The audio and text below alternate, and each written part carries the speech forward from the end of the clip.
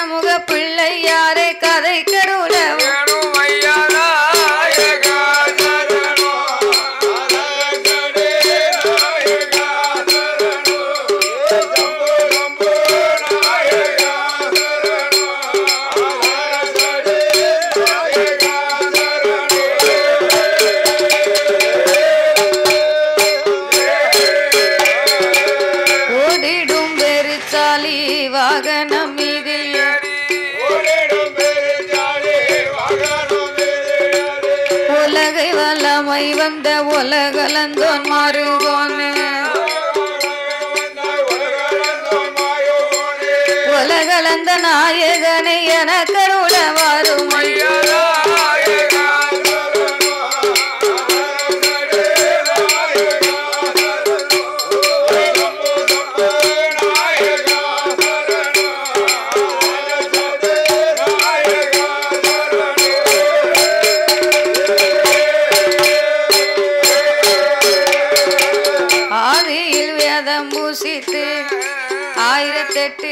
அண்ட பிண்டமும் புரிய ஆதியில் வேதம் பூசித்து ஆயிரத்தெட்டு அண்ட பிண்டமும் புனைந்து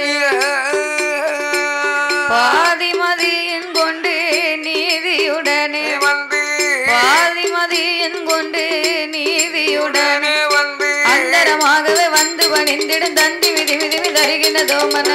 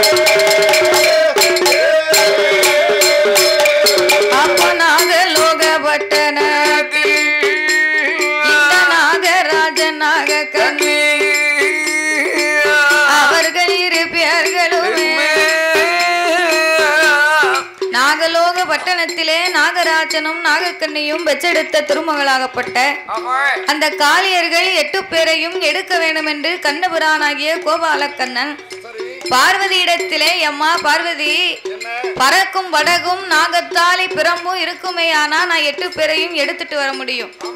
அப்படி பறக்கும் படகும் நாகதாளி பிரம்பு இல்லைன்னு சொன்னா என்னால் எடுத்து வர முடியாது. அப்படியானால் இறைவனிடத்திலே சென்று அதை நான் வாங்கி வருகிறேன் அண்ணா. என்று பார்வதா தேவி சிவபெருமானின் பக்கத்தில் வந்தார். சாமி ஆண்டவனே பகவானே.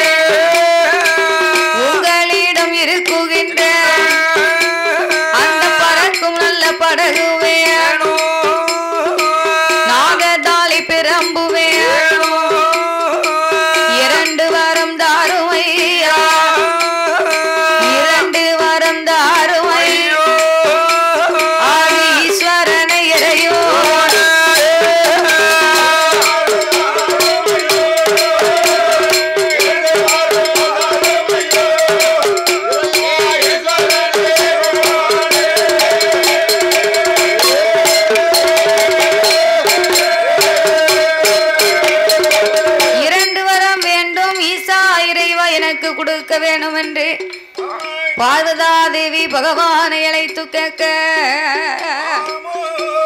அப்பந்தான் ஆண்டவன் சொன்னார் அடியே பார்வதி ரெண்டு வரமும் என்கிட்ட இருக்குன்னு உன்னிடத்தில் சொன்னது யாரு?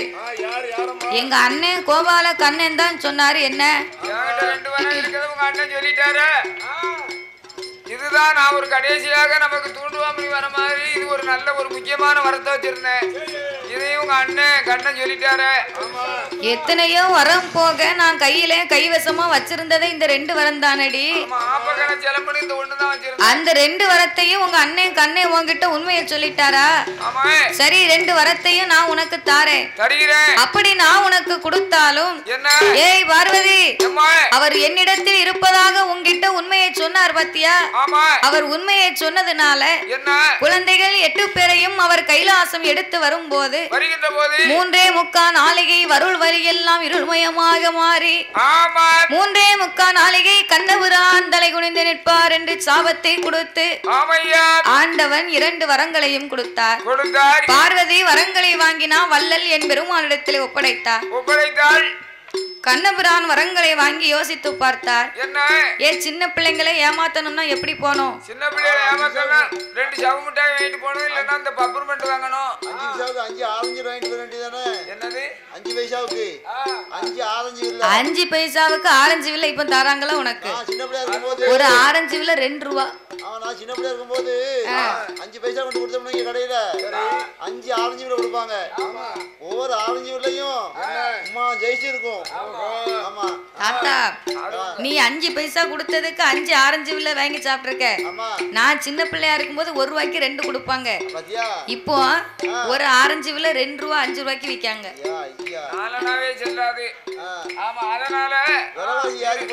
இது வந்து நீ சொல்லக்கூடிய காலம் வந்து உங்க பாட்டியும் உங்க பாட்டியாவும் இருக்க காலத்துல இந்த அஞ்சு பைசா வியாபாரம். இப்ப குறைஞ்சது ஒரு ரூபாய்க்கு குறைஞ்ச பொருள் எதுவும் கிடையாது. ஒரு ரூபா இல்ல தாத்தா. அஞ்சு ரூபாய்க்கு குறைஞ்சு பண்டை வாங்க முடியாது. ஆமா பண்டம் வாங்க முடியாது அப்படி இல்லைன்னு சொன்னா வாய் வாயில பல்லுல கூட ஒட்டதுக்கு காணாது. அஞ்சு ரூபா ரெண்டு ரூபா தான் செல்லாம போக போகுது ஆ. ஒரே பத்து ரூபா ஆயி- பத்து ரூபா மட்டும் செல்லும்? பத்து ரூபா தான் நம்ம செல்லக்கூடிய காலமும் வந்துரும் நினைக்கேன் ஆமா. கூடிய சீக்கிரத்துல அதுவும் வரும். வந்துரும். அப்போ சின்ன பிள்ளைங்களை ஏமாத்தணும் அப்படின்னு சொன்னா ஒரு பெரிய ஆளு மாதிரி வேஷத்தை போட்டு போகணும். பெரிய ஆளுனா எங்க தாத்தா மாதிரிக்கு சாயண்டுக்காரர் மாதிரி போனாதான் சின்ன பிள்ளைங்களை ஏமாத்தலாம் பார்த்துக்கோ. என்ன பார்க்கும்போது உனக்கு பெரிய ஆள் மாதிரி தெரியுதுன்னு? பிறகு. நீ கலர் அடிச்சா தெரியாதுன்னு நினைச்சியோ? அதானே. உன் முடியெல்லாம் நரைச்சிருக்கிறது எனக்கு தெரியும். சரி. கலர் அடிச்சதுனால எனக்கு தெரியாதுன்னு நினைச்சுக்கிட்டு இருக்க. கலர் அடிக்கல டை தான் அடிச்சேன். கலரு டை எல்லாம் ஒண்ணுதானே? சரி போட்டோம். அப்போ உன்னைய மாதிரி ஒரு பெரிய ஆள் வேஷத்தை போட்டாதான் ஆமா. நாகலோகம் சென்று எட்டு பிள்ளைகளையும் ஏமாத்தி நம்ம கைலாசத்துக்கு கொண்டு வரலாம். கொண்டு வரல. என்று கண்ணனாகிய என் பெருமான் கோபால கண்ணபிரான். இப்படியே போனால் அவளை யாரு என்று அறிந்து கொள்வாள் அல்லவா? என்று எப்பேற்பட்ட வடிவம் கொண்டு வருகின்றார் தெரியுமா? எடுத்தாரே ஒரு சோறு. எடுத்தாரே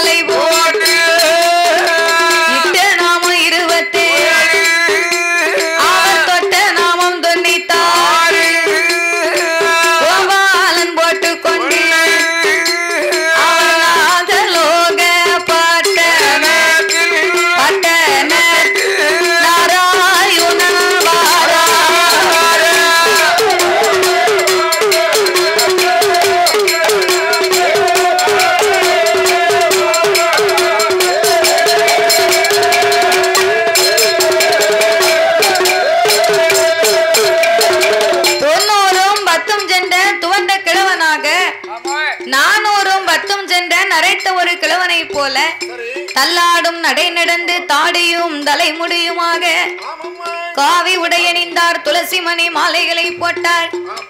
பட்ட நாமம் வழுக்க சாத்தி இட்ட நாம இருபத்தி ஏழும் தொட்ட நாமம் தொண்ணூத்தாறும் போட்டுக்கொண்டு நாகலோக வட்டணத்திலே என் நாராயுணன் வந்து பார்க்கும் போது காளியர்கள் எட்டு பேர் என்ன செய்கிறார்? பத்திரகாளி சந்தனமாரி உச்சிமாகாளி முப்புடாதி துர்க்கையம்மா நாகம்மா காந்தாரி கனகதுர்க்கை அக்கினிமாரி அழகுடைய முத்துமாரி. அவ அவ கடற்கரையில உட்கார்ந்து அவர் அவர்கள் கையாலே மணலை குமித்து சின்னம் சிறிய வீடு கட்டி விளையாடி கொண்டிருக்கிறார்கள். அம்மா அப்படி சின்னம் சிறிய வீடு கட்டி விளையாண்டதுனாலதான் அம்மாளுக்கு புது வீட்டம்மன் படை வீட்டம்மன் அப்படி ஒரு பேர் உண்டு. ஆமா புது வீட்டம்மா எங்க இருக்கா? எங்க இருக்கா? எங்க இருக்கான்னு என்கிட்ட கேட்க புது வீட்டா வந்து எங்க இருக்கா தெரியுமா? காசி பக்கத்துல இருக்கா. படை வீட்டம்மா எங்க இருக்கா அப்போ?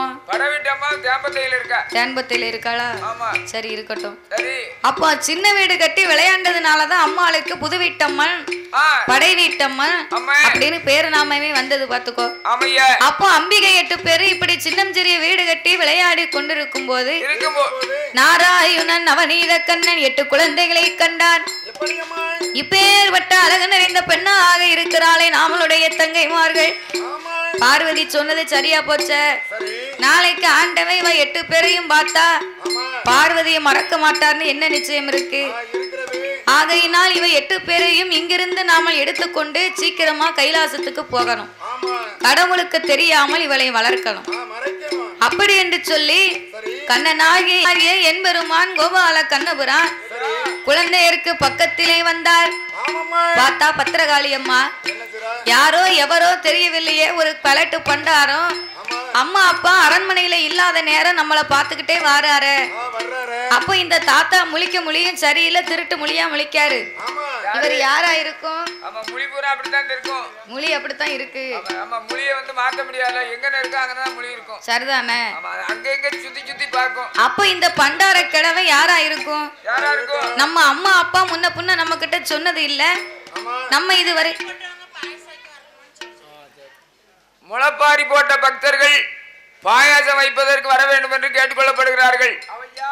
முளப்பாரி போட்ட பெண்கள் உடனடியாக பத்ராளியம்மன் கோயிலுக்கு பாயாசம் வைப்பதற்கு வர வேண்டும் என்று கேட்டுக்கொள்ளப்படுகிறார்கள். விழா கமிட்டியார்கள்.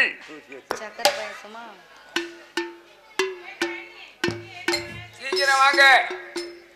அப்போ கண்ணனாகிய என் பெருமாளை பார்த்து சக்தியாகப்பட்ட பத்திரகாளி அம்மா கேக்குறா. யாரோ எவரோ தெரியவில்லை. அம்மா அப்பா வர்றதுக்குள்ள தாத்தா போகலைன்னா இவரை கொத்தி கொன்றுவாங்களே. ஆகையினாலே யாரென்று விசாரிப்போம் என்று சொல்லி முத்தாரம்மா சந்தனமாரி பத்திரகாளி துர்க்கையம்மா உச்சி மகாளி முப்புடாதி அம்மா. கிழவனை பார்த்து என்ன கேக்குறா தெரியுமா? ஊரு என்னையா பேரை சொல்லையா?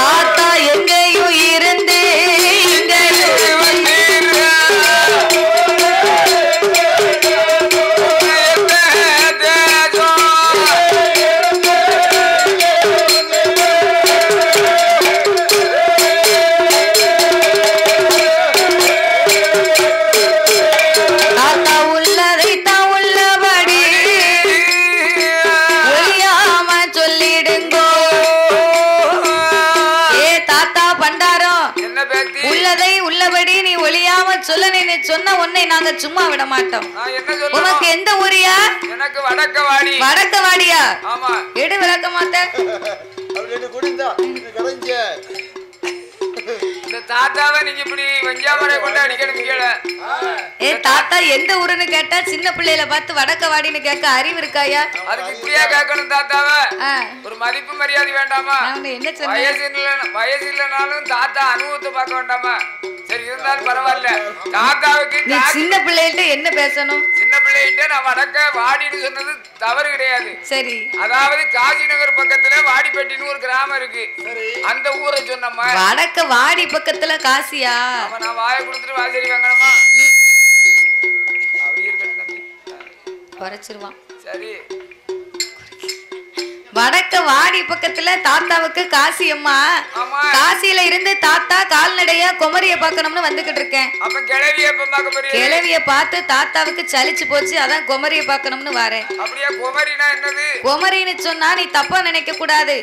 கன்னியாகுமரியிலே சென்று கன்னி பகவதியை வணங்கி கடற்கரையிலே நீராடி கன்னி பகவதியை வணங்கணும்னு இந்த பாதையா நான் வந்துகிட்டு இருக்கேன். கன்னியாகுமரிக்கு காசி நடையில இருந்து கால்நடையா நான் வந்திருக்கேன். அம்மா. என் தாத்தா சந்தோஷமா நீங்க போயிட்டு வாங்க. சரி. போங்க போங்க. காசியில இருந்து கால்நடையா வாரீங்கன்னு சொல்லுதீங்களே தாத்தா. என்ன? எங்க அரண்மனைக்கு எங்க கோட்டைக்கு வந்த விவரத்தை சொல்லுங்க. எங்க கோட்டை வழி வராம நீர் ஒரு வாரமா ஏன் நாகலோக பட்டணத்துக்கு நான் சும்மா ஒண்ணும் வரலம்மா. சும்மா வரலன்னா செமந்துகிட்டு வரல. வரும்போது உங்க எட்டு பேர்களின் பெருமையும் ரொம்ப ரொம்ப பெருமையா சொன்னாங்க. எங்க பேசுனாங்க? நாகலோக பட்டணத்தில் எட்டு குழந்தைகளையும் ரொம்ப இன்பமா சொன்னாங்க அம்மா. ஆமா அதனாலே உங்க எட்டு பேர்களையும் பார்க்கணும்னு வந்திருக்கேன். வந்திருக்கேன் தாத்தா வந்த நேரத்துல வாங்கன்னு சொல்லுவாங்க காப்பி கொடுப்பாங்க கலர் கொடுப்பாங்க. ஆமா. நீ வந்தவங்கள வான்னு கேட்கலையே யாரு எவர்னு கேட்டுக்கிட்டு இருக்கிய? உங்க அம்மா அப்பா உனக்கு அப்படித்தான் சொல்லி கொடுத்தாங்களோ? ஏ பேத்தி தாத்தாவுக்கு தண்ணீர் தாகமா இருக்கு. தாகம் பொறுக்க முடியல. ஒரு கிளாஸ் தண்ணி இருந்தா கூட. எதுக்கு தாத்தா? தண்ணி அந்த தண்ணிலாம் வேண்டாம் அதெல்லாம் உங்களோட வச்சுக்கிடணும். அது வேண்டாமோ? அந்த தண்ணியை நீ குடி உன் பேத்தியால கொண்டு தாத்தா வந்து தாத்தா வந்து பக்தி மார்க்கம் உள்ள ஆளு. சின்ன பேத்தியால கொடு தாத்தா. ஓ அப்படியா? தாத்தா ரொம்ப பக்தி மார்க்கம் உள்ள ஆளு. இந்த தண்ணி தவிடெல்லாம் பிடிக்காது. அதனால நீங்க பச்சை தண்ணி இருந்தா கொண்டு வாங்க பேத்தி. ஏ தாத்தா. என்ன? எங்க கிட்ட அன்னம் கிடையாது. சரி. ஆகாரம் கிடையாது. தண்ணி கிடையாதோ? தண்ணி கிடையாது சாப்பாடு கிடையாது எதுவுமே இல்ல. அப்ப நீங்க என்னதான் சாப்பிடுறீங்களோ? எங்க அம்மா அப்பாவே எங்களுக்காக கொம்பு தேன் கொண்டு வந்து எங்களை ஊட்டி வளர்த்து வராங்க. சரி. அப்படி வளர்த்து வருகின்றதுனால இந்த இடத்தை விட்டு நீ புறப்பட்டு போக வேண்டும். என் பேத்தி. என்ன? கொம்பு தேன் இருக்குங்க கையில தாத்தா கையில கொஞ்சம் விடு- விடு தேனை நான் ரேசா தாத்தா நக்கி பார்க்கட்டும். தேனையாவது நக்கிட்டு போகலாம்னு நினைக்கியோ? ஆமா. எடுக்க போயிருக்காங்களா? அப்படியா அது நீ முதலே சொல்ல வேண்டியானே நீ அங்க என்ன செஞ்ச? நீ நக்கீரன் பரம்பரையா இருப்புன்னு நாங்க என்னத்த கண்டோம்? இப்படியும் நக்குவேன் இப்படியும் நக்குவேன். என் கையை நான் எப்படி வேணாலும் செய்வேன். நீ விரலையே தின்னாலும் சரிதான் கேட்க நாதி கிடையாது. சரி ஆ. நீ எப்படி வேணாலும் சாப்பிடு. சரி. ஏ பேத்தி தாத்தாவுக்கு அன்னம் இல்ல ஆகாரம் இல்ல தண்ணி இல்லைன்னு சொல்லுதிய. அப்போ நீங்க எல்லாம் எப்படி வளர்ந்து வரீங்க இந்த நாகலோக பட்டணத்துல? கொம்பு தேனைத்தான் தாத்தா எங்க அம்மா ஒரு நாளைக்கு ரெண்டு சொட்டு கொடுப்பாங்க நாங்களும் சாப்பிட்டு வளர்ந்துகிட்டு இருக்கோம். உமக்கு உடலுக்கு எப்படி வருதுங்கேரு அது உடலுக்கு நல்லா தான் இருக்கு. வீட்டுக்கு போகணும்னு நினைக்கிறா? ஆமா போன முடியா இல்ல எங்க அம்மா அப்பா வந்தா உம்மை கொத்தியே கொன்றுவாங்க. நீங்க இருக்க சொன்னாலும் இருக்க மாட்டேன் பேசி நாலு மணிக்கு நான் இதை விட்டு கிளம்பி. நாகராஜனும் நாகக்கண்ணியும் இரு பேர்களும் சீறி படம் எடுத்தா சீமையே நடு நடுங்கும் நடு நடுங்கும் கோவம் கொண்டார்களே ஆனா உங்களை கொத்தியே கொன்று விடுவார்கள் தாத்தா. தாத்தா. அதனால நீங்க வந்த வெளியே போங்க அப்படின்னு சொன்ன சரி. அப்பந்தான் என்பெருமாள் பார்த்தார். எப்படி? வாரும் அம்மா காளியர் வாரும் அம்மா காளியர் வார்த்தை ஒன்று சொல்ல கேளு. எட்டு பேர்களுமே.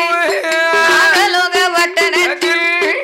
குச்சுக்குள் இருந்தீரா மகிமை ஒன்றும்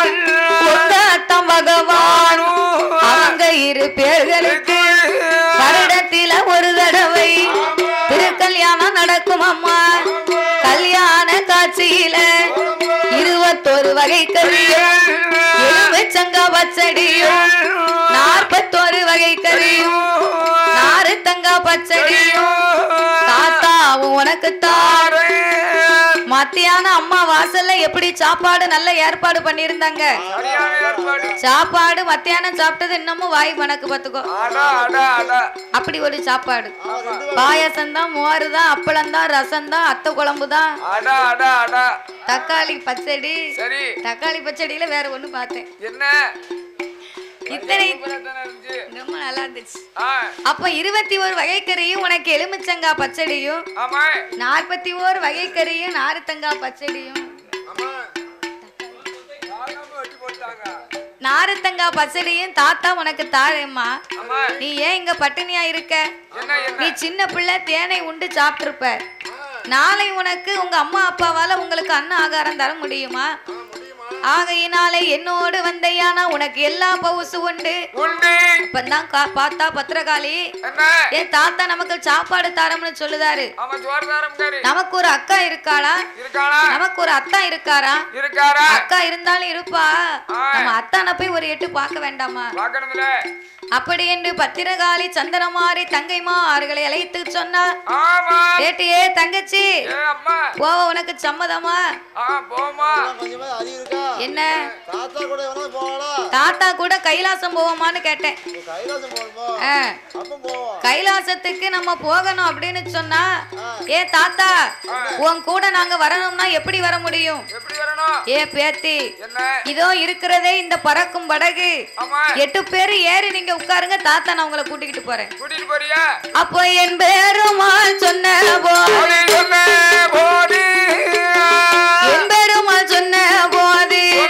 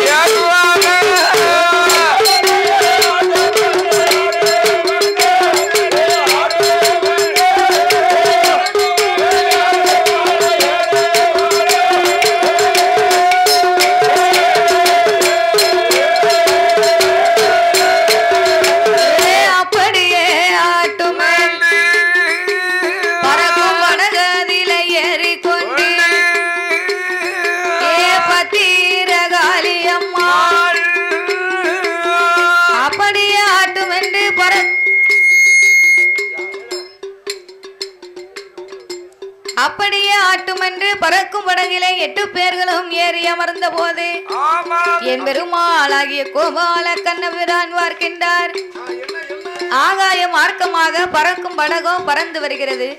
அப்பந்தான் பத்திரகாளியம்மா நினைத்து பார்க்கிறார். நம்ம அம்மா அப்பா கிட்ட ஒரு வார்த்தை சொல்லவில்லை. அம்மா கூடயும் நமக்கு இருக்காம இருக்க முடியல. தாத்தா கூடயும் நம்ம போகாம இருக்க முடியலையே. கைலாசத்துக்கு போகணும் நம்ம அக்கால பார்க்கணும் அத்தான பார்க்கணும். அக்கா பத்திரகாளி. அம்மா அப்பாவை தேடுது? அம்மா அப்பாவை தேடுது. அப்படின்னு இவளுக்கு அழுகுதா. பத்திரகாளி ஆறுதல் சொன்னா. ஏட்டி ஏ தங்கச்சி?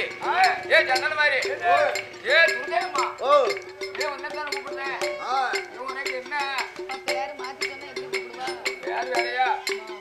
அப்படி என்று சொல்லும் போது என்னத்தையும் பறி கொடுத்துட்டு வந்திருக்கா. என்னன்னு தெரியல? ஆமா கருமாரியா கருமாரி? பாரு உதார பாரு. வேற மாத்தணும்னா என்னன்னு கேட்க மாட்டேங்க ஏன் நம்ம கைலாசம் போவோமா? நீ முன்னால போன பின்னாடி உன்னை தூக்கி விட்டுட்டு. ஏ நீ முன்ன போய நான் வாரேன் பையா. காளியர்கள் எட்டு பேரு இப்படி கூடி பேசினா பறக்கும் படகிலே உட்கார்ந்தா அம்மா அப்பாவை நினைக்க இரு மனதாக நினைத்த வேளையிலே நாகக்கண்ணிக்கு நாசி உலையுது நச்சென்று தும்மல் விழுந்தது. பிள்ளை மேல ஆசை கொண்டு என்ன ஆச்சோ ஏதாச்சோ தெரியவில்லை என்று.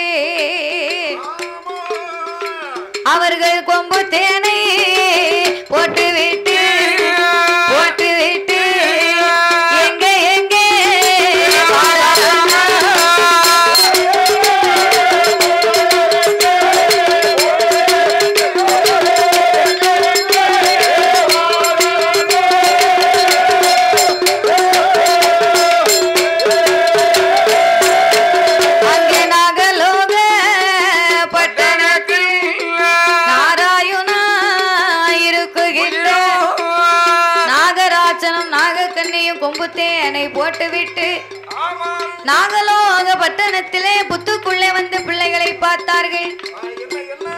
புத்துக்குள்ள பார்க்க பிள்ளைகளை காணவில்லை.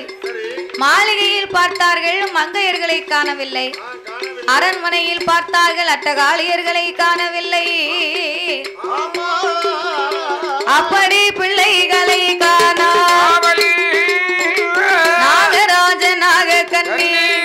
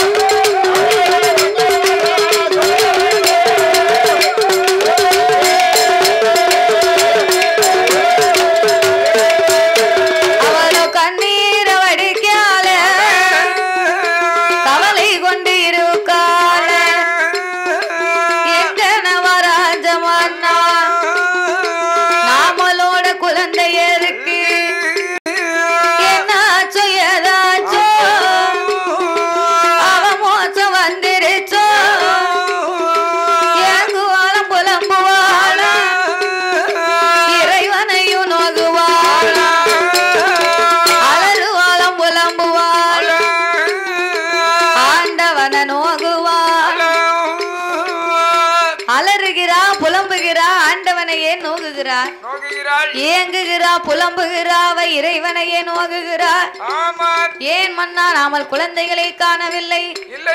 எங்கு போனார்களோ என்ன ஆனார்களோ தெரியவில்லையே. அப்படின்னு நாகராஜனும் நாகக்கண்ணியும் பிள்ளைகளை காணாமல் கோபம் கொண்டு படம் எடுத்து ஆங்காரமாகவே ஆடி வருகின்றார்கள்.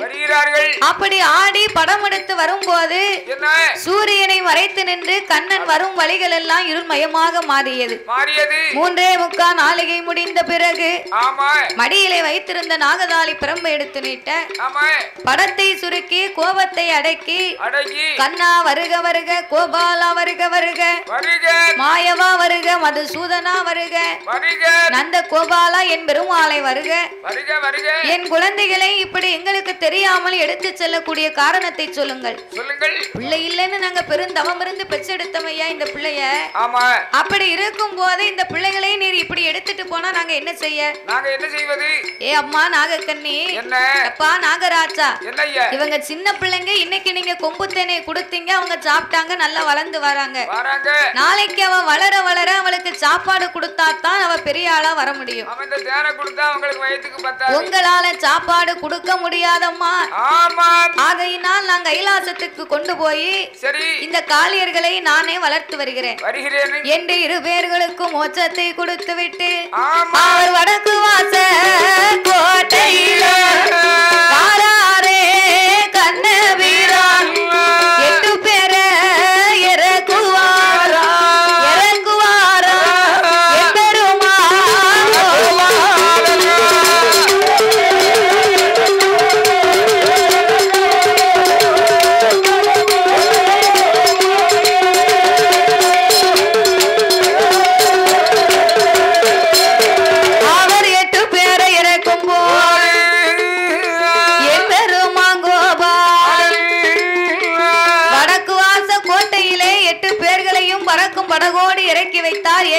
கைலாசத்திலே தங்கையாகப்பட்ட பார்வதியை அழைத்த போது பார்வதி வந்தா பிள்ளைகளை பார்த்தா இவ அவளை பார்க்கா அவ இவளை பார்க்கா? ஏன் பார்க்கா? பாக்கா அவ தங்கச்சியை பார்க்கா இவ அக்காளை பார்க்கா? நம்மள மாதிரியே இருக்காள இவ எட்டு பேரும்? ஆனாலும் நம்மள இருந்து ஒன்பது மடங்கு அழகு நிறைந்த பெண்ணா இருக்கிறாளே. அவளை எல்லாம் இவ பாக்கா பார்வதி. பார்வதி அவ எப்படி பார்த்தா அவ கண்ணாடி வச்சிருந்தா கையில.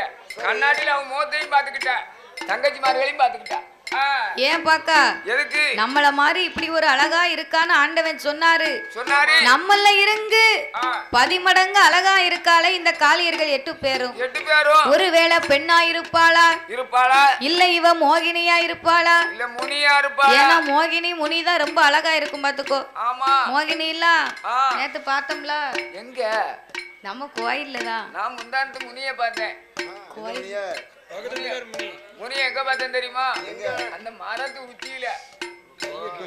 நீயே ஒரு பேய் தாத்தா நீ முனி எங்க போய் பார்த்த? முனி அது மரத்து உச்சியில அது இருக்கிறது முனி உங்களை பார்த்தோன்னு ஓடியே போயிட்டு. அதான் மரத்து உச்சியில இருக்கிறது என்னது முனி. அந்த முனிய சொல்லுதியா? எந்த முனிய சொல்லுத? அவர் முனினா எதை சொல்லுதாரு தெரியுதாயா என்ன சொல்லுதாரு? அறிவு இருக்கவங்களுக்கு மட்டும்தான் புரியும். ஆமா நான் நான் சொன்னது அவர் யாருமே கேட்டுக்கல. அந்த முனி ஆமா மரத்துக்கு மேல இருக்கிறது முனி தானே. முனி கொப்பு தானே இருக்கு. அதுக்கிட்ட ஒரு முனி முனிங்காரு. அந்த முனி போய் அதுக்கு பத்தி அங்க போய் தொங்க போறீரா? அவர் கீழே விழுவார் முனி கொப்புல தொங்குனாருன்னா அப்போ இவ பெண்ணா இருக்குமா இல்ல பேயா இருக்குமா இல்ல மோகினியா இருக்குமா? இருக்குமா. அப்படி என்று மனதிலே என்ன நினைக்கிறா தெரியுமா? எப்படி? மகமேருவ பருவ சப்தா சாகர பரப்பு. பிலுட்ட உலகத்தில் இப்படி பெண்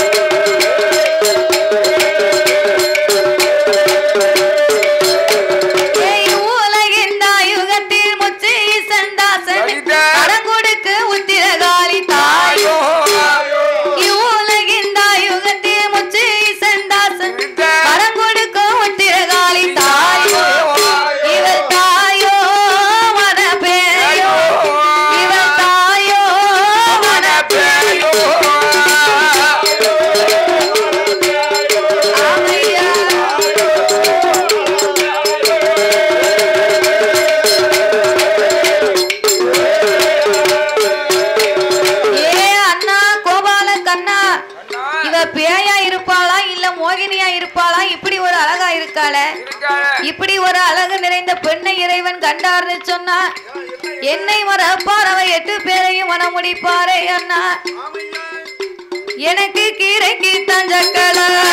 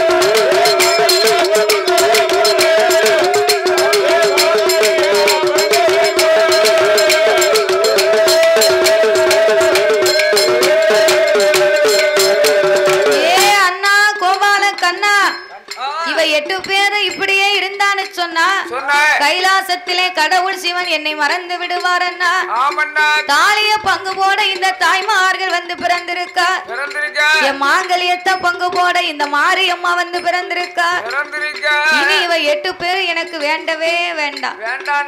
ஏய் பார்வதி வேணும்னு சொன்னா நான் கைலாசம் கொண்டு வந்தேன். இன்னைக்கு வேண்டாம்னு சொல்லுது நான் இவளை என்ன செய்யட்டும்? என்ன செய்வது? ஏ அண்ணா கோபால கண்ணா. என்ன தங்கச்சி? இவளை நீ என்ன செய்வியோ ஏது செய்வியோ எனக்கு தெரியாது. சரி. கைலாசத்திலே இருக்கக்கூடாது. அவ பாட்டி இருந்துட்டு போறா ஆண்டவன் படி இழந்துட்டு வந்தாருன்னா இவ எட்டு பேரையும் பார்க்கத்தானே செய்வாரு? கண்ணு இருந்தா பார்க்காம நீ வரு கண்ணை மூடிக்கிட்டு இருக்கணும். அப்படியா? ஆமா. அவர் வந்தாருன்னா பாப்பாரு. படி இழந்து முடித்து அவர் கைலாசம் வரும்போது எட்டு பேரையும் பார்ப்பார். ஆமா. என்னையே மறந்து விடுவார் அல்லவா எட்டு பேரையும் பார்க்கும்போது அவருக்கு கண்ணுக்கு பழி ஈச்சுன்னு இருக்கும். பளிச்சுன்னு இருக்கும். பனைமரத்துல சேலை கட்டினாலும் ஆ, பாஞ்சு போய் பார்ப்பாரு. ஆமா குத்துக்கல்லுல நைட்டிய போட்டாலும். ஏன் அப்படி பார்க்காது தெரியுமா? கட்டினாலும் எதுக்கு இருக்குமா? இல்ல இருக்குமா? என்ன போய் வில்லு பிடிக்க போறாரோ? மாரியம்மனா இருக்குமா? அப்படின்னு கல்லுக்கு சேலை கட்டி விட்டாலும் கண்ணை தொடச்சிட்டு போய் பாப்பாரு இந்த மனுஷன். இனி இவ எட்டு பேரையும் பார்த்தா என்னைய மறந்தே விடுவார் மறந்துடுவேன் ஆகையினா இவ எட்டு பேரு எனக்கு வேண்டாம் அண்ணா. பகவான் போகாத இடத்துல இவ எட்டு பேரையும் வளர்க்க விடணும். வளர்க்கணும். ஆண்டவன் போகாத இடம் எங்கேயா இருக்கு? எங்க இருக்கு? ஆண்டவன் போகாத இடமே கிடையாது. அப்படியா? எங்கனாலும் இருப்பார் ஆண்டவன். தூணிலும் இருப்பார் துரும்பிலும் இருப்பார். ஆமா. மரத்திலும் இருப்பார் மட்டையிலும் இருப்பார். ஓலையிலும் இருப்பார். ஊசிலையும் இருப்பார் பூவிலையும் இருப்பார். நார்லையும் இருப்பார் இளநீலையும் இருப்பார். நொங்கிலையும் இருப்பார் லைட்லயும் இருப்பார். கரண்ட்லயும் இருப்பார். அவர் இல்லாத இடம் எதுவுமே கிடையாது. எங்க போனாலும் இருப்பாரு. ஆனா ஒரே ஒரு இடத்துக்கு மாத்திரம் போக மாட்டாரு. பன்னெண்டு மணிக்கு பச்சை போடு கடை திறக்கும் அங்க போக மாட்டாரு. பன்னெண்டு மணிக்கு பச்சை போடு கடைக்கு போக மாட்டாருன்னு சொல்லுது. நீ என்ன குவாட்டர் வாங்கி குடிக்க? இல்ல, பார்க்கல கேக்கேன். நான் பார்க்கல நீ என்ன குவாட்டர் வாங்கி குடிக்கன்னு கேட்க நான் ஆத்துக்கு போனா தானே செருப்ப கலத்த அவர் போறேன். மானிடர் கை குடிக்காது மானிடர். பச்சை போடு கடைக்கு ஆண்டவன் எப்படியா போகாம இருப்பாரு? எப்படி போவாரு? கடையை திறக்கும் போது ஒரு பாட்டில திறந்து ஓஹோ. அத நீ ஒரு முடுக்கு குடிச்சுக்கிட்டு பத்தி சூடம் எல்லாம் தீவாரனை ஏத்தி நீ கடையை திறக்க பாரு. அப்படியா? அப்போ ஆண்டவன் வந்தா தான் உனக்கு வியாபாரமே நடக்கும். உனக்கு இந்த பக்கத்து வீட்டுக்காரி சொல்லியிருப்பாரு அவளுக்கு இல்ல எனக்கு தெரியும். தெரியுமா? தெரியும். சரி தெரிஞ்சா சரிதான் அப்போ குவாட்டர் கடைக்கு ஆண்டவன் போவார். போவாரு. அப்போ பகவான் போகாத இடம் வேற எங்க இருக்கு? வேர்கால வீட்டுக்கு எப்படி போகாம இருப்பாரு? வேர்கால வீட்டுக்கு அவர் வந்தா தான் பிள்ளையே பிறக்கும் பாத்துக்கோ சிவனே கடவுளே எனக்கு நல்ல ஆம்பளை பிள்ளை பிறக்கட்டுன்னு முத கடவுளை தானே வணங்குவாங்க. அப்போ அங்கேயும் ஆண்டவன் வந்தா தான் ஆமா. வேர்கால வீடு ஆ, சுகப்பிரசவமா இருந்தா ஆண்டவன் போவாரு. ஆமா. அதே சுகப்பிரசவம் இல்லைன்னா இப்போ உள்ள நேரத்துல டாக்டர் மாதிரி ஆண்டவன் போவார் அப்படியா? ஆபரேஷன் பண்ணணும் பாத்தியா? ஆமா. அதுக்கு. அது சிவனுடைய ரூபத்துல போறாரு. அப்போ அங்கேயும் ஆண்டவன் வருவார். வருவாரு. சடங்கு வீட்டுக்கு அவர் நினைச்சா தானே அது சடங்கு வீடு? இல்லைன்னா அது நல்ல வீடா வருமா? வராது. அப்போ பகவான் போகாத இடம் ஒரே ஒரு இடம் தான் இருக்கு. எனக்கு மட்டும்தான் தெரியும். நீ நூறு ரூபா தா சொல்லுதேன். ரூபா கொடுமியா? ஐநூறா? அறுநூத்தி எண்பது ரூபா வச்சிருக்கேன். அதெல்லாம் கொடுக்க மாட்டேன். நீ கொடுத்துட்டு விடிய காலையில போட்டு கொல்ல ஆ நூறு ரூபா தந்தா தான் சொல்லுவேன். அதெல்லாம் சொல்ல கொடுக்க முடியாது. வேற ரூபா வேணா எங்க நீ கைமாத்தி வாங்கிட்டு வரேன். சரி பரவாயில்ல. ஐயோ பாவம் பிழைச்சு போ. ஆ சரிப்பா உனக்காண்டி சொல்லுதேன் சரி. பகவான் போகாத இடம் ஒரே ஒரு இடம் தம்மியா இருக்கு. இருக்கு. அதாவது திரிபுரமாகிய காண்டவ வனமாகப்பட்ட சந்தனமாம் சோலை. ஓஹோ அங்க இருக்கார். சந்தனமாம் சோலைக்கு ஆண்டவன் ஏன் போக மாட்டார்? எதுக்கு? அங்குதான் மூ ஆசை விருத்து ஒரு முனிவர் வாழ்ந்து வருகிறார். ஆமா. அவர் பெயரு சந்தனமா மகா முனிவர் சந்தன மாமுனிவர். சந்தன மகா முனிவர் ஆகப்பட்டவர் மூவாசை விருத்தர்னு சொன்னா ஒரு மனிதனுக்கு ஆசை இருக்குமானால் அவன் மனிதன். மூ ஆசையை வெறுப்பானையானால் அவன் முனிவன். மூ ஆசை என்ன ஆசை எல்லாம் முதலாவது ஆசை மண்ண ஆசை. யாராவது ஒரு ஏக்கர் நிலம் சும்மா தாரே வச்சுக்கங்கன்னா வேண்டாம் சொல்லுதம்மா. எங்க அப்பாவுக்கு ஒரு நாலு ஏக்கரு. என் தம்பிக்கு மூணு ஏக்கரு. சும்மா தாராங்கன்னா வேண்டாம் நம்ம வாய் வருமா முதல்ல? எங்க தாத்தாவுக்கும் கொஞ்சம் வேணும். பட்டா போடணும் நீங்க ஏற்பாடு பண்ணுங்க. நான் ரெடி பண்ணது எவ்வளவு செலவானாலும் பரவாயில்லை. கொஞ்சம் மிச்சம் இருந்தா என் பெண்டாட்டிக்கு கொஞ்சம் எழுதி வைங்க அப்படியா. உன் பொண்டாட்டிக்கு தருவான். அவன் பொண்டாட்டி எந்த மூத்த பொண்டாட்டியா இளைய பொண்டாட்டியா? ஏ ஒரு பெண்டாட்டி தான் இருக்கா? உன்ன மாதிரி நினைச்சியோ. சரி. அப்போ இடம் வேணும் ஒரு ஏக்கர் நிலம் சும்மா தராங்கன்னா வேண்டாம்னு யாருமே சொல்ல மாட்டோம். கப்பல்ல பொண்ணு வந்துச்சுன்னா எனக்கு ஒண்ணு எங்க அப்பனுக்குன்னு கேட்க பாருங்க அவர் வந்து கரெக்டா சொல்லிட்டு போறாரு. அதான் பாருங்க இருபது லட்சம் ரூபாய் கொடுத்து கார் வாங்கினாலும் பக்கத்துல இருக்கும் போதே நான் நினைச்சேன். இருபது. இருபது லட்சம் ரூபாய் கொடுத்து கார் வாங்கினாலும் காருக்கு ஒரு செப்பினி வேணும். என்னது வேணும்? செப்பனி வேணுமா? ஆமா காருக்கு செப்பினி எல்லாம் போகாது. சரிதானே? நடு காட்டுக்குள்ள நின்றுச்சுன்னு சொன்னா செப்பினி டயர் எடுத்து போட்டா தான் வண்டி ஓடும். அப்படி இருப்பதனால அழகு போல் பெண்டாட்டி இருந்தாலும் குரங்கு போல் ஒரு வப்பாட்டி வேணுமா? அந்த காலத்துல சொல்லி வச்சிருக்காங்க. கிளி மாதிரி பொண்டாட்டி இருந்தாலும் குரங்கு மாதிரி ஒரு வப்பாட்டி வச்சிருக்காங்க. ஒன்னே மாதிரி ஆளு. இந்த செப்புனின்னு சொன்ன பாரு. அது மட்டும் என்னைக்குமே உனக்கு உதவியே செய்யாது. செப்பினி காருக்கு செப்பனி அது டயர் ஓடணும். சரி. அதுக்கு வாய் பேச முடியுதா? முடியாது. அது ஓடித்தான் அவனும் நம்ம எடுத்து மாட்டணும் ஓடத்தான் செப்பரி காக்கா ஒண்ணு. சரி. அவன் பொம்பளை நினைப்பா இவன் காட்டாம்பளை வீட்டுக்கு வெள்ளு படி போயிட்டு நாலு நாளைக்கு தான் ஒரு வாட்டி தான் வரான் வீட்டுக்கு. நம்மளும் ஒரு செப்பனி வச்சு நினைச்சா எங்க போனாலும் நம்ம என்னத்த கண்டோம் நினைச்சா அப்ப குடும்பம் விளங்குமா? இவன் பத்து நாளைக்கு ஒரு வாட்டி தான் வீட்டுக்கு வரான். அப்போ அவளுக்கு என்ன தெரியும்? ஒரு செப்பனி வச்சு அவன் நினைச்சா நிலம் என்னாச்சு? செய்ய தெரியாம இல்ல தாத்தா செய்யக்கூடாது. குடும்பம் குடும்பம் சிரிச்சிரும். சந்தி சிரிச்சிரும் சந்திக்கு வந்துரும். ஆமா. என்ன ஆம்பளை உனக்கு மட்டும் செப்புனீங்க அதான் சொன்னேன் ஆம்பளை எங்க வேணாலும் போகலாம். ஆயிரம் இடத்துக்கு போவான் அவன் சிங்கம். எங்க வேணாலும் போயிட்டு சிங்கம் நாள்- பிறவு அசிங்கம் ஆயிரும்ல எத்தனை நாள் கழிச்சு வேணாலும் வருவான். ஆம்பளை சிங்கம். நல்லா சிங்கம். ஆமா. அசிங்கப்பட்டுறாத நீ அவமானப்பட்டுருவ. சரி. என்னத்த இருந்தாலும் ரெண்டு ஒரு நாளைக்கு எங்கனையா தங்கி இருந்துட்டு வந்துட்டா போதும். பொம்பளையாள் வந்துட்டா நீ எங்க போன? எதுக்கு போன? எங்க அக்கா வீட்டுக்கு போனேன்னு சொல்லுவா. சரி. அப்படின்னு சொல்லும்போது ஆ. அதுக்கெல்லாம் உனக்கு ஏற்பாடு பண்ணதை இரு. சரி. அதனால மூவாசை வெறுத்து மண் ஆசை பொன் ஆசை பெண் ஆசை பெண்ணாசை. மூவாசை வெறுத்து முனிவராகவே சந்தன மகா முனிவர் வாழ்ந்து வருகின்றார். அப்பேற்பட்ட சந்தன மகா முனிவரிடத்திலே ஒப்படைக்க வேணும் என்று. என் பெருமாங்கோபால் என் பெருமாங்கோபால் எட்டு பேரை எடுத்துக்கொண்டு பறக்கும் நல்ல படகதியில பாவையர வைத்துக்கொண்டு chocolate.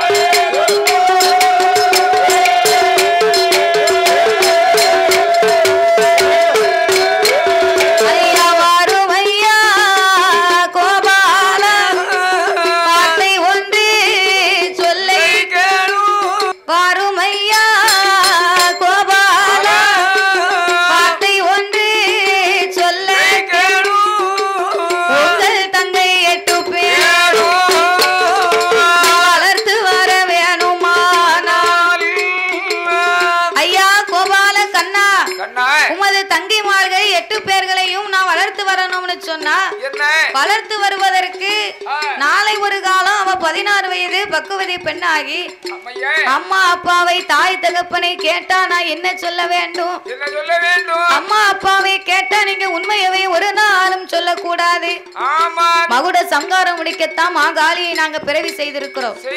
இந்த உண்மையை நீர் சொன்னீர்னு சொன்னா உமது சிரசு மூன்றே முக்கால் நாளிகையில் இரண்டாக வெடிக்க கடவது அப்படின்னு சாபத்தை கொடுத்து என் பெருமாள் ஒப்படைத்து விட்டு வந்தார். அப்போ ஒப்படைத்த வேளையிலே சந்தன மகாமுனிவரோ எட்டு கிட்டயே நிக்காதடா. நீ அங்க போ. எட்டு பேரும் சேர்ந்து எட்டு பேரையும் என் ஆசிரமத்திற்கு கொண்டு போய் நீர் சொன்னத மாதிரி கண்ணையுமே காப்பதை போல் நான் கட்டுடனே வளர்த்து வருகிறேன் ஐயா. அப்படி என்று சந்தன மகாமுனிவர் ஆசிரமத்துக்கு எடுத்துக்கொண்டு வந்து எட்டு பேரை எப்படி வளர்த்தார் தெரியுமா? அவருக்கு ஐந்து நல்ல வயதுமாச்சு.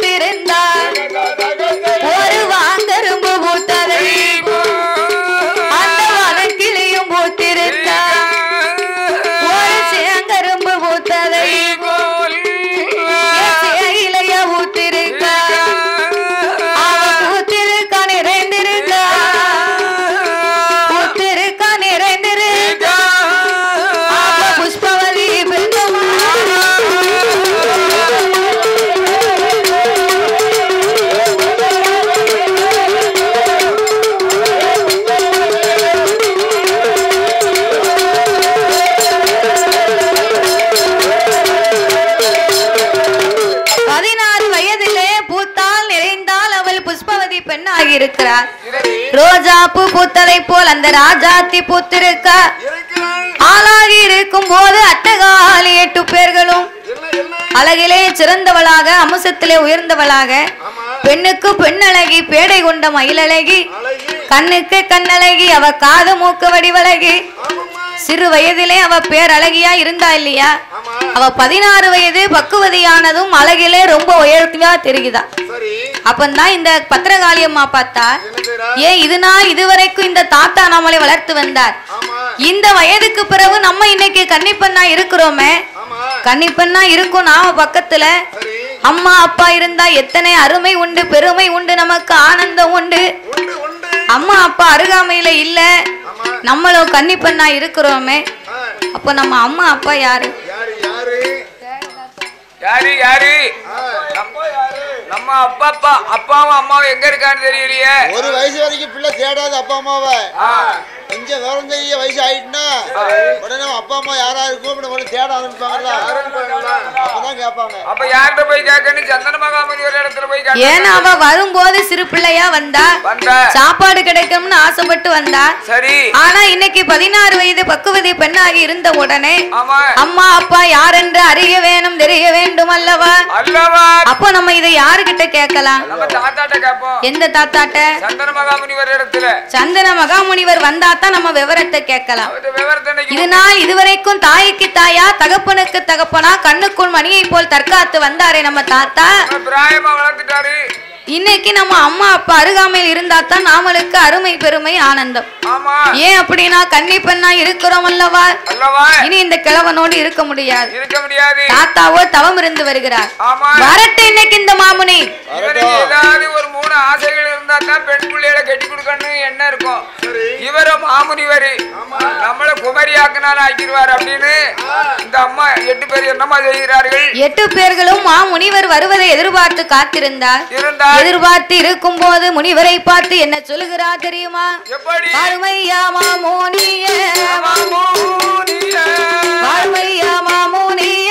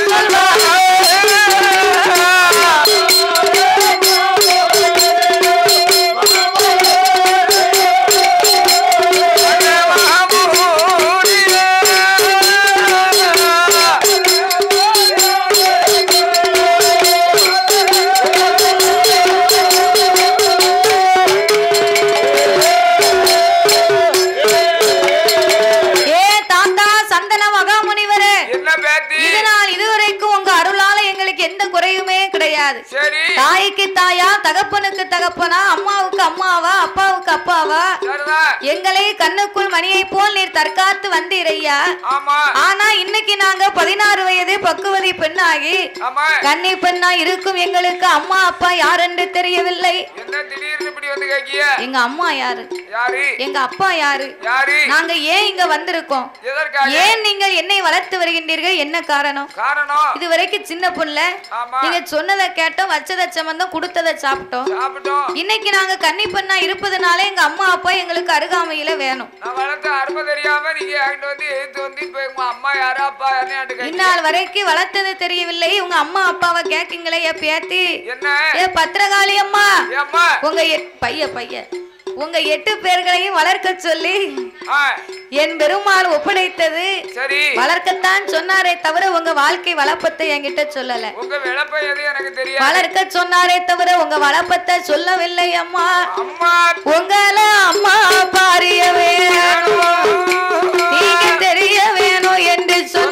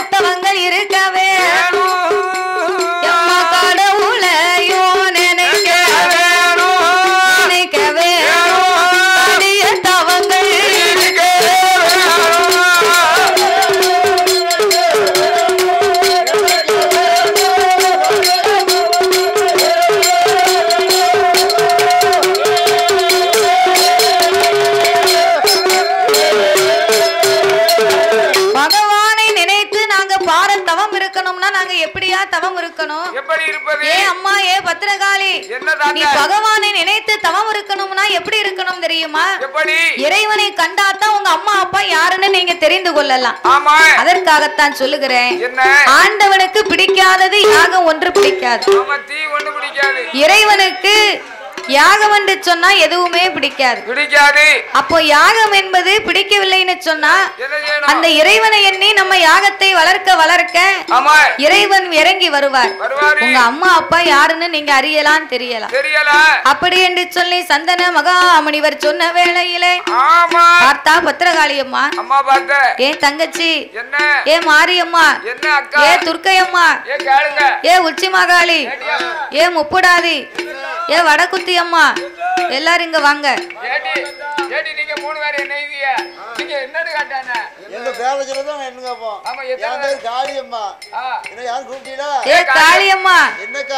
நல்லா சத்தம் கொடு வாங்கி. இட்லி சாப்பிட்டல?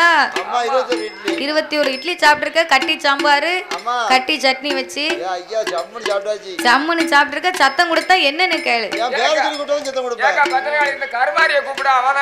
ஏ. கருமாரி. என்னக்கா? ஆ, அவ சாப்பிட்ட இட்லிக்கு சத்தம் கொடுக்கா பத்தியா? என்ன காரணம்? நீ சரக்கு கொடுக்கலையோ? அப்படியா? நீ வாங்கி கொடுக்கலன்னு ஏ காளியர்களே நம்ம அம்மா அப்பா யாரென்று அறியணும் தெரியணும் அப்படின்னு சொன்னா இறைவனை எண்ணி நம்ம யாகத்தை வளர்க்க வேண்டும். பகவானை எண்ணி நம்ம பாரத்தவங்களை செய்ய வேண்டும். செய்யணும். அப்படி என்று நாகலோக பட்டணத்திலே பிறந்த எட்டு பேர்களும் சந்தனமாம் சோலையில என்ன செய்கிறா தெரியுமா? சாந்து கொண்டு தலைமேலிகி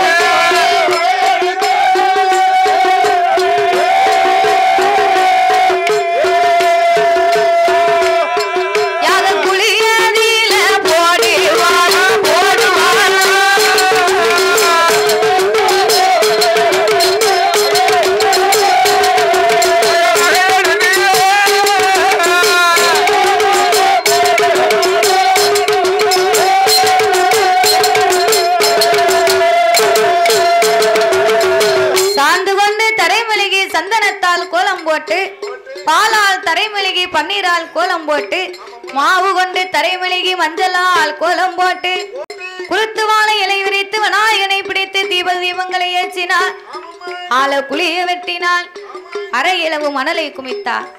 ஆலங்குச்சி அரசங்குச்சி புங்கங்குச்சி புளியங்குச்சி வேப்பங்குச்சி வன்னிக்குச்சி வகை வகையாக எடுத்தா வேள்வி குழியிலே போட்டார். அப்படி இருபத்தி ஓரு வகை எடுத்து யாக குழியிலே போட்டு ஆமா எரிக்கலை குச்சி பருத்தி குச்சி ஆமா வேப்பம் குச்சி வன்னி குச்சி. வன்னி குச்சி. இந்த நிறைய நிறைய குச்சியை அள்ளி கொண்டாந்து போடுத. அப்ப இருபத்தி ஒரு வகையான குச்சிகளை எடுத்து யாக குழியிலே போட்டா எப்படி யாகத்தை வளர்க்கிறா தெரியுமா எப்படி? நாங்கு என்ன கோங்கு என்ன? நாங்கு என்ன? கோங்கு என்ன?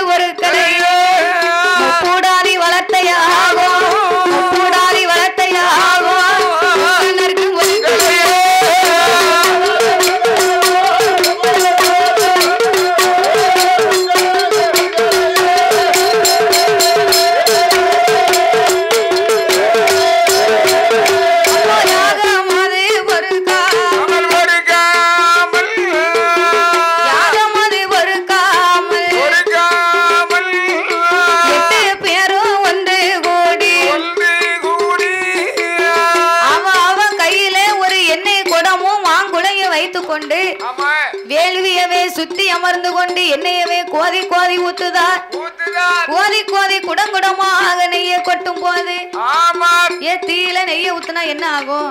கப கபன்னு எரியும். கப கபன்னு எரியும். எரியுதா நெய்யு? எண்ணெயை ஊத்துனா அது கூட கொஞ்சம் ஓங்கி எரியும். அப்ப இப்படி யாக எரிய எரிய ஆகாயம் முட்டி கைலாசத்திலே முழங்குகின்றது யாகமானது. ஆமா மாரியம்மா வளர்த்த யாகம் மன்னனுக்கு பொறுக்க முடியவில்லை. எட்டு பேரு வளர்த்த யாகம் இறைவனுக்கு பொறுக்காமல் பொறுக்காம பார்வதி அழைத்து என்ன சொல்லுகின்றார் தெரியுமா? எப்படி? அடி ஏடி அம்மா பார்வதிய. பார்வதியே.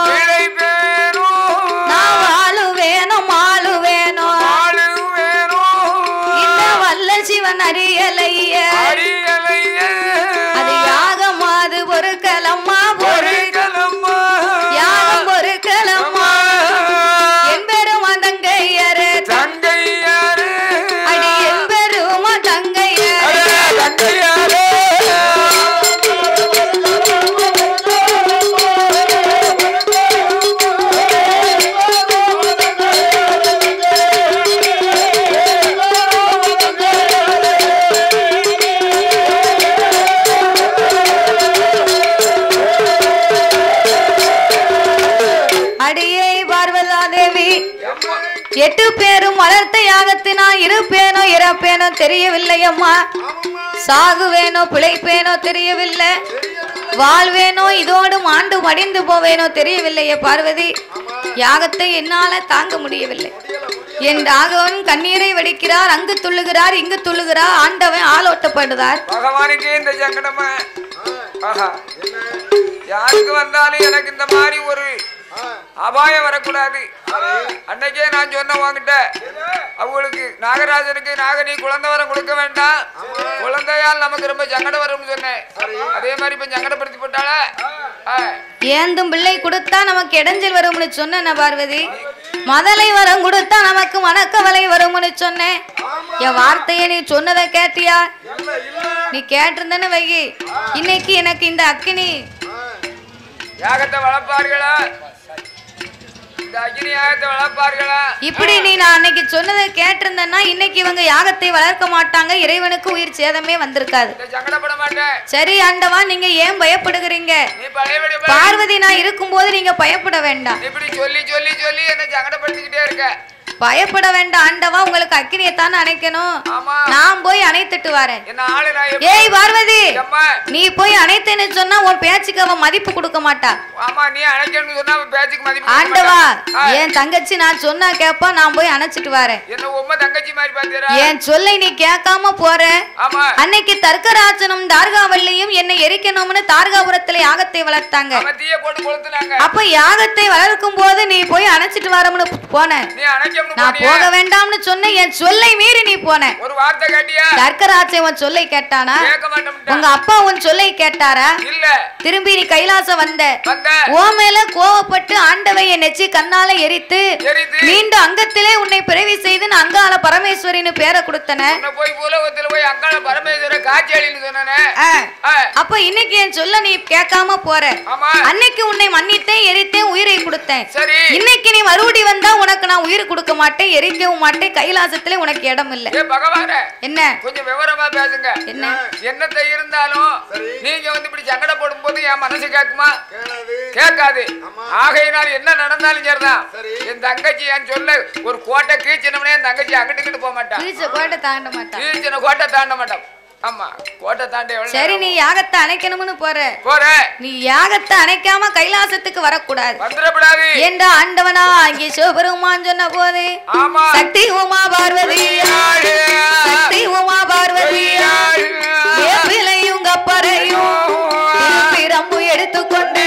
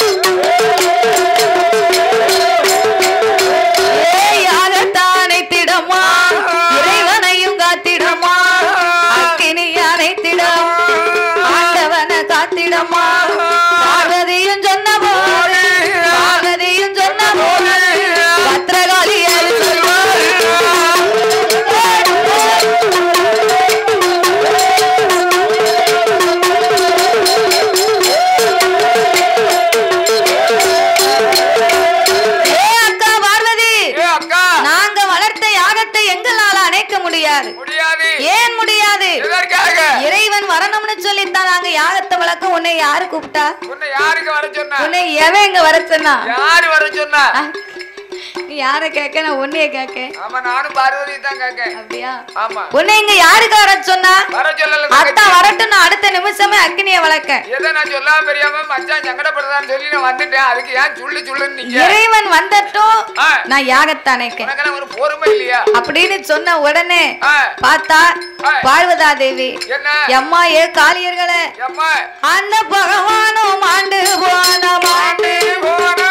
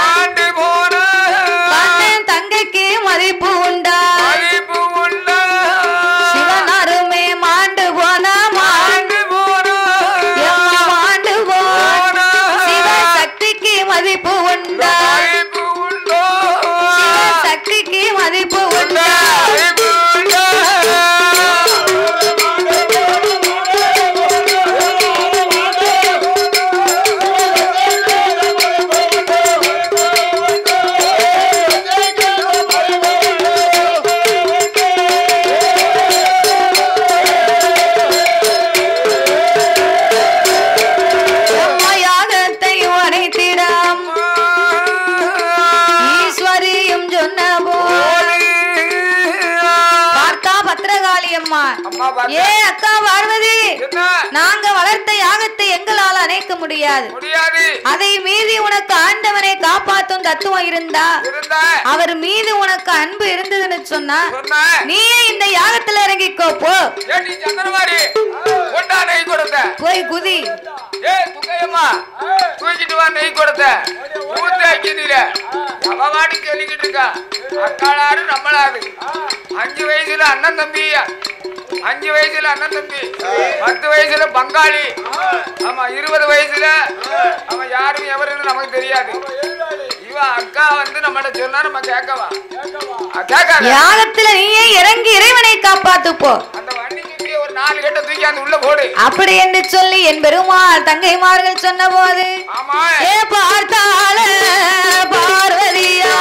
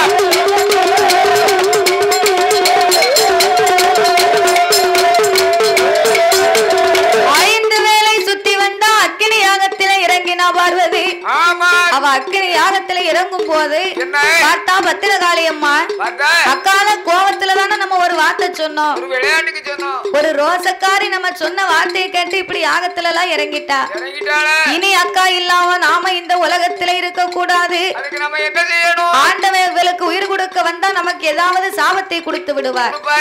அக்காலோடு நம்ம அக்கினியில இறங்கிட்ட கேட்டோம்னு சொன்னா. சக்தி இல்லாமல் சிவன் இல்லை சிவன் இல்லாமல் சக்தி கிடையாது. கண்டிப்பா சிவபெருமான் உயிர் கொடுக்க வருவார் நமக்கும் சேர்த்து கொடுப்பார் நம்ம விவரத்தையும் கேட்கலாம். அப்படி என்று பத்திரகாளி அம்மா சந்தனமாரி துர்க்கையம்மா முப்புடாதி உச்சிமாகாளி ஆமா. அவ பார்வதிக்கு பின்னால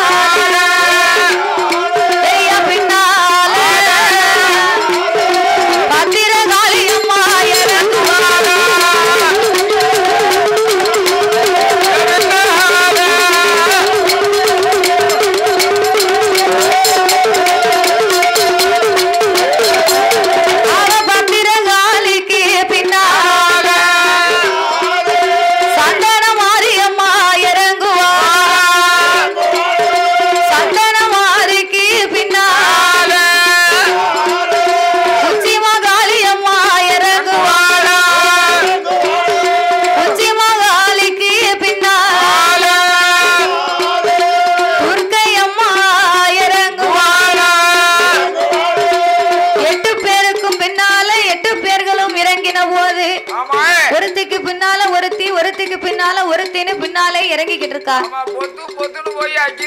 அப்படி யாகமானது எரிந்தது பொழுது விழுந்த பொழுது. எட்டு பேர் இறங்க யாகமானது அணைந்து போக கைலாசத்திலே யாகத்தின் வெக்கை அணைந்து ஆண்டவன் சிவபெருமான் ஞானத்தால் அறிந்து பார்த்தார். அக்கினியும் அணைந்து போச்சு யாகமும் முடிந்து போச்சு. போன பார்வதி இன்னுமே கைலாசத்துக்கு திரும்பி வரலையே. நம்ம அப்பவே சொன்ன இவன் நம்ம வார்த்தையை கேட்கல. கேட்க சரி நம்ம உயிரை காப்பாத்தத்தானே இவ யாகத்துல இறங்குனா? இவளுக்கு நாம உயிர் கொடுக்க வேணும். என்று என்று. அந்த ஆண்டவனாகிய சிவபெருமானாகப்பட்டவர். தீர்த்தம் கொண்டு தெரிப்பாரா திருபிரம்பாலே தட்டுவாரா.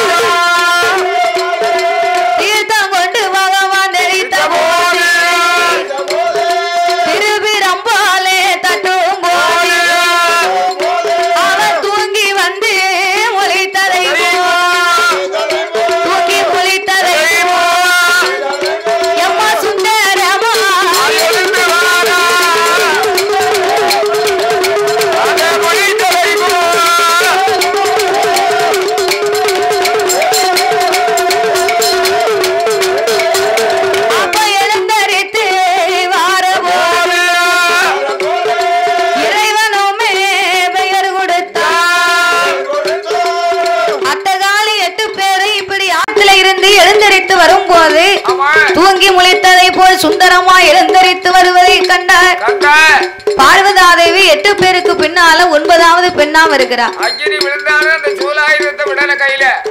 பார்வதியை அடையாளம் பிடிச்சதே சூலாயுதத்தை வச்சுட்டேன் ஆமா எல்லாரும் சும்மா வர.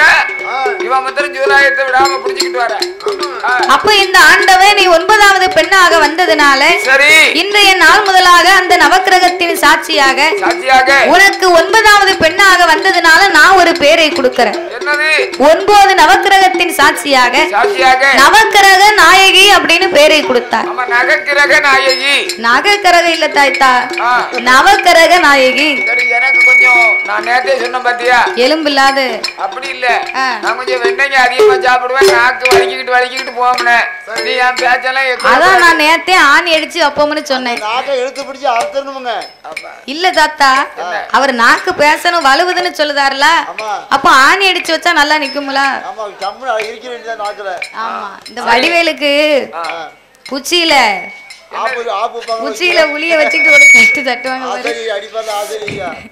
அத மாதிரி ஒரு தட்டு தட்டா சரியா போயிடும். உங்களுக்கு எப்படியாவது ஆணி அடிச்சு அதை அடிச்சு இது அடிச்சு எனக்கு எப்படியாவது உன்னை வழி அனுப்பினாம்னு தான் பார்க்க நீ போக மாட்டேக்கிய நாற்பது வருஷம் உமக்கு நம்ம வேண்டாம் வேண்டாம்னு சொல்ல அவளுக்கு ஆயில் கூடிக்கிட்டே இருக்கும் பாத்துக்கோ வேண்டாம் வேண்டாம்னு சொல்ல நான் போனுக்கு மேல போன் பாட்டு நான் பேத்தி நான் வந்துருவேன் பாட்டுக்கு வந்துருவேன் பாட்டு பாட்டுக்குன்னு எதுக்கு சொல்லுவேன்? ஒரு அன்பு வச்சுதான். ஒரு நம்பிக்கை தான் நான் ஒரு நம்பிக்கை தான் சரி ஆ, அப்போ இந்த பார்வதா தேவிக்கு நவக்கிரக நாயகின்னு ஆண்டவன் பேரை கொடுக்க கொடுத்த அப்போ பேரை கொடுத்த போது. பார்த்தா பத்திரகாளி அம்மா ஆண்டவா பரம்பொருளே. பரம்பொருளே. என்னைக்குமே. இந்த பார்வதிக்கு நீங்க பேரை கொடுத்தீங்களே. எங்களுக்கு. ஏன் நீங்க பேரை கொடுக்கல? எங்களுக்கும் பேர் நாங்களும் ஒரு பெண்ணும் தானே. பார்வதிக்கு நாங்களும் ஒரு தங்கை தானே. ஆகையினால் எங்களுக்கும் நீங்க பேரை கொடுக்கணும்னு சொன்ன. போது அப்பந்தான் பார்வதா தேவிக்கு கொடுத்ததை போல இவர்களுக்கும் பேர் கொடுக்க வேண்டும் என்று ஆண்டவனாகிய சிவபெருமானாகப்பட்டவர் என்ன பேர் கொடுத்தார் தெரியுமா? மாறி மாறி பிறந்ததால